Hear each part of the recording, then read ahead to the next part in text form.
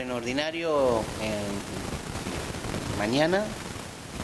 después del verano, vienen, vamos, si han visto ustedes, vienen pocos puntos, dos mociones del Partido Popular y, y entre los puntos la relación de decretos, las actas del pleno de 9 de junio y del 14 de julio,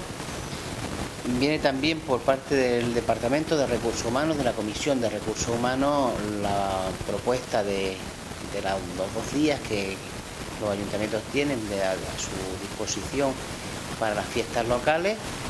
que un año más pues, serán el 5 de agosto, mm, festividad de la Virgen de las Nieves, festividad de nuestra patrona,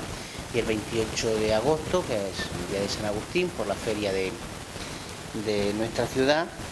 Eh, también eh, por, de la Comisión de, Gobernación el ponerle el nombre de Antonio Quesada Menduiña, que fue presidente de la Asociación de Vecinos de La Paz al Polideportivo, que está en esta asociación. Es una propuesta que hizo la Asociación de Vecinos y que está avalada por muchos colectivos sociales de, nuestra ciudad. Y eh, la renovación del contrato que hay con la empresa AUSA del servicio de, grúa. El contrato tenía una prórroga para de dos años, esta es la primera prórroga que se va, que se va a aprobar, puesto que ahora mismo esta empresa está realizando eh, la labor con informes positivos por parte de los servicios técnicos y viene también la proposición de la Concejalía de Economía y Hacienda, que lo hemos visto esta misma mañana en, comisión, relativa a la resolución de las alegaciones que han hecho los administradores concursales de la empresa Hogar Sur de los dos parkings mm, que esta empresa gestionaba en nuestra ciudad, el parking de San Agustín y el de, la plaza de, la, de Santa Margarita. Las alegaciones que han hecho las administraciones concursales han sido contestadas por los servicios jurídicos del ayuntamiento se va a llevar pleno ya la desestimación de las mismas y se llevará al Consejo Consultivo la revocación del, contrato del servicio, del servicio de gestión de estos dos parques.